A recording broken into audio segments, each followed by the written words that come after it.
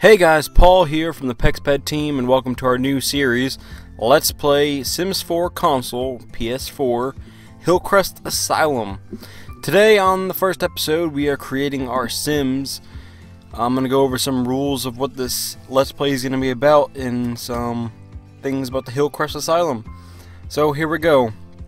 Basically, I'm currently creating an asylum on the Sims 4 Console Edition PS4, and we are... creating this asylum, which will house eight sims, which we are creating now. The first sim that we have created is going to be the warden, and he's going to be the overall head of the asylum. And the second one will be one nurse, which can make friends with different patients and such like that. And then we're going to have six patients. Each one's going to have the trait of insane, obviously, because it's an asylum. And then each one will also have unique traits dedicated to that specific sim, which will help play out a better story in our world that we're creating. Um, like I said, each sim is going to be different. I believe we're going to have three girls, three guys, and then the warden, and then the nurse. And they're all going to live in the same building, except the patients will be assigned to their specific rooms and will not be able to go outside the boundaries of certain areas.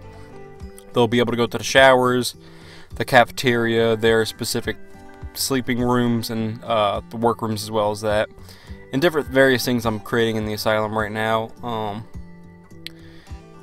basically, our goal is just to survive and make as much money as we can and hopefully not kill anyone.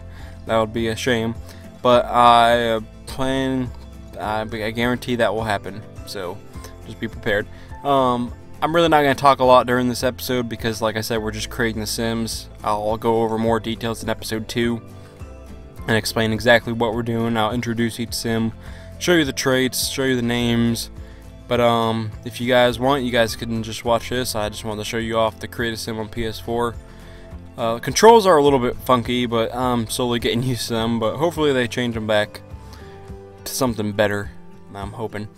Like I said, I hope you guys enjoy this. Stay tuned for our next episode, which will be more actual playing, and I'll be speaking live during the gameplay and uh, we'll begin Hillcrest Asylum.